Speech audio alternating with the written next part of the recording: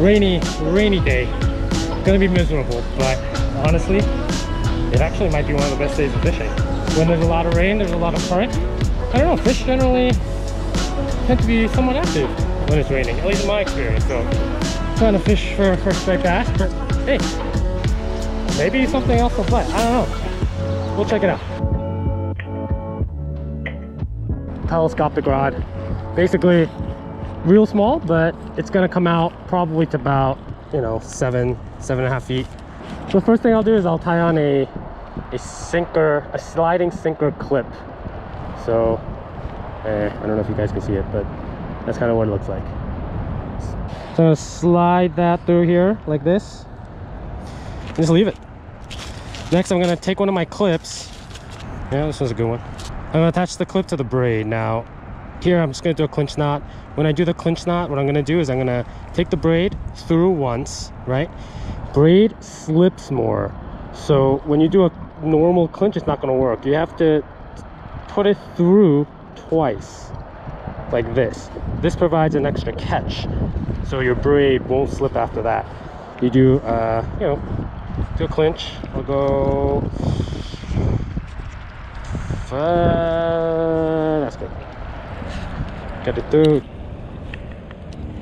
the whole thing when it comes down. Uh, it's gonna kind of look like this. I have mono. This is gonna be my leader. I'll do. I'll do like. Yeah, what is that? Like three-ish feet. One end of this mono is gonna have to clip on to the clip, so I'm just gonna do a surgeon's loop on this. So you just make a loop, make another loop, hold it, take uh, the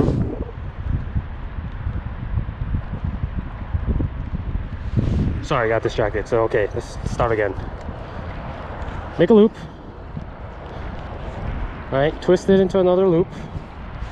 Your original uh, loop, you stick it through here, and you stick it through again. Real simple. Uh, you end up getting a pretty strong, strong loop. I'm gonna cut that tag end off once I uh, attach it, but it's good for now. So this is gonna go on the clip. On this end, I'm gonna put a big old hook. So I'm gonna do a big old hook on this one. I'm gonna do a Palomar on this. Okay, so now you got a nice strong Palomar there. I'm gonna cut that tag off later. Uh, so this is about, still about three feet. I would say about a third of the way down right here ish. Yeah, that's good. So the whole rig, you got the sinker, you got the first, and then you got the second.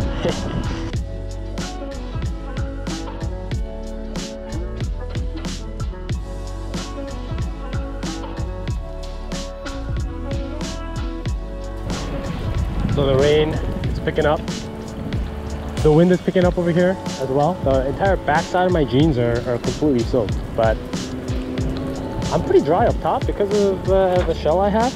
And most importantly my shoes although they're wet on the outside they're completely dry on the inside. These are like amazing shoes. Uh, they're called Vessis got them as a gift from my wife. They're like, they're like, these things are amazing. So the question here could be, are you miserable yet? Not quite there yet. Might be close.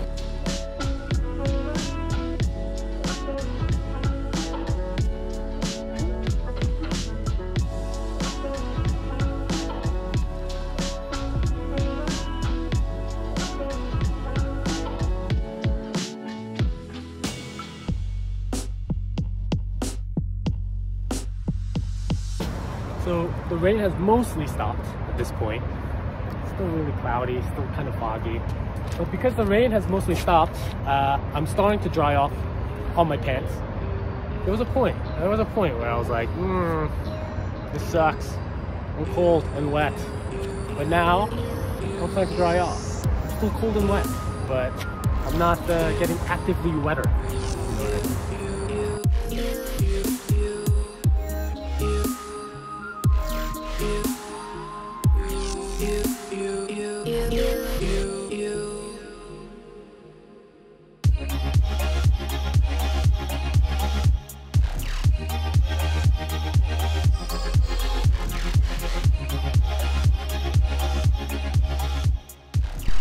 Tell, the weather got much, much nicer just now. Uh, look at that. Look at that. Look at the weather over there. It's, it's beautiful. I haven't caught anything yet. so you don't know how the fishing's gonna turn out, but, but at least the weather's nice and at least it's getting warm. Sailboats in the river. Uh, good time out here. Now I just need to catch something. Ah, the, the jealous eyes uh, of a man who's been fishing for almost four hours and then uh, the guy who shows up an hour ago is killing it right next to me. I'm gonna try to ask, see what he's doing that I'm not.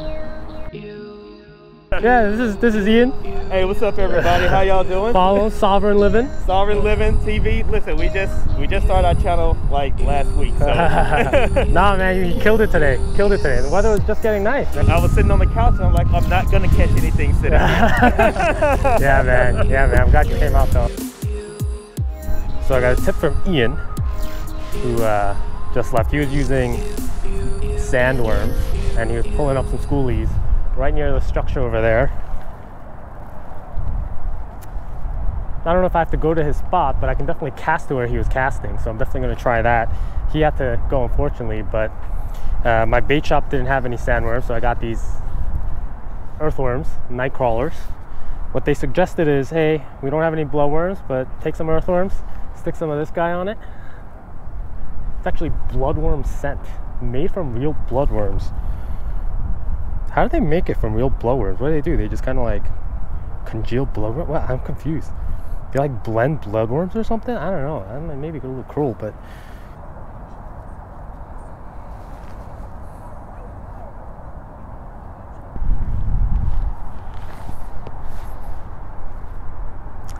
that super goop thing is, is crazy. It's crazy. Oh my goodness. Oh my goodness. Oh, this is disgusting.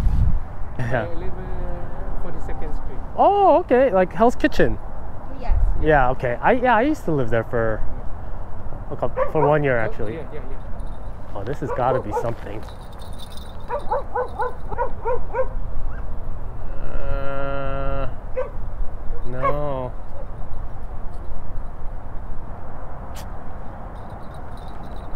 There you go. Oh, small. Oh, it's very small. It's tiny.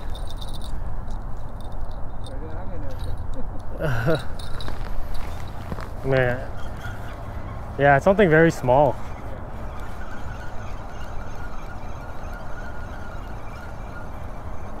Do I have it?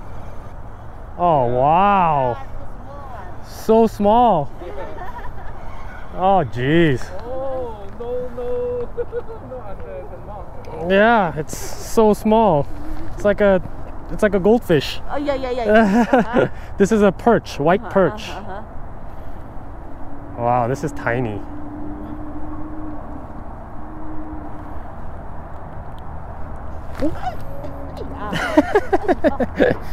well, there you go. There's fish there, but really small. Very small.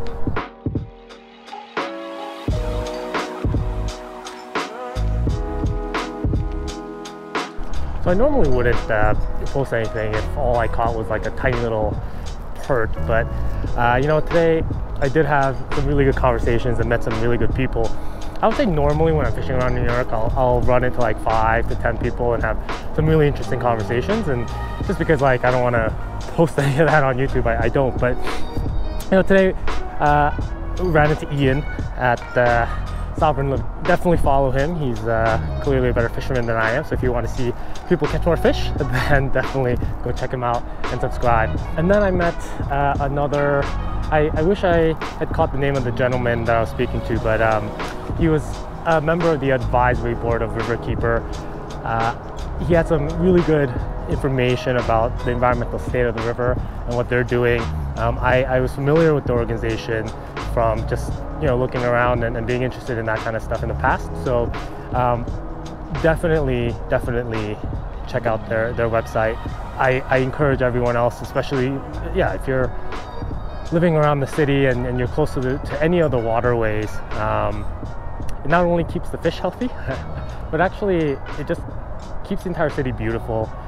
I think the cleaner the waters are, you know, maybe there's a day where uh, we can all go and, and swim in the rivers and uh, eat the fish without being worried about getting sick. Um, that would be my dream. But until then, I mean, I think uh, the best we can do is, is continue to try.